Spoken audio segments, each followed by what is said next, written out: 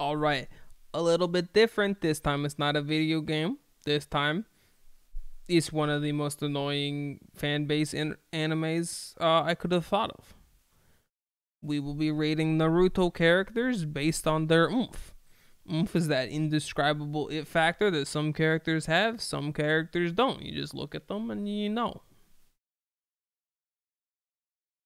I've never seen Naruto, and let's get into this. So this one, uh, how this looks like this one's awful.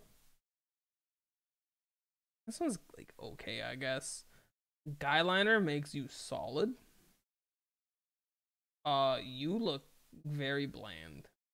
This is also kind of boring. So are you. Literally like the neck. You're the, the, the white eyes are at least something. This kind of sucks.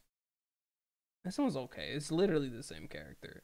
Uh, you look like these other characters, literally. This one, it's okay. Etho, oomph. Okay? No one does Minecraft like Etho's lab. Oomph already. This boring ninja, ugly like cat ninja. I hate it. It's a character design. This one's kind of like pretty solid.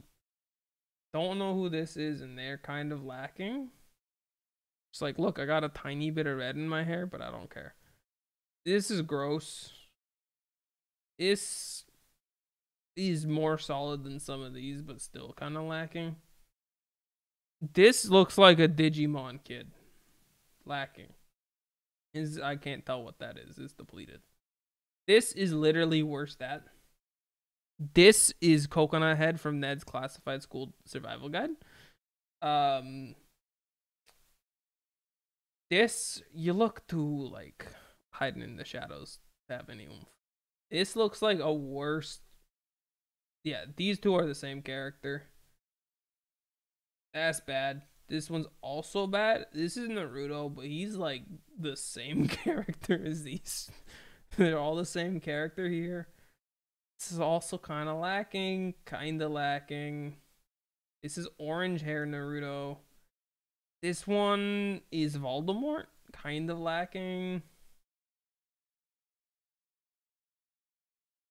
Um, look, nothing you somewhat jump out more than the others, but like from what was left here at the bottom, legitimately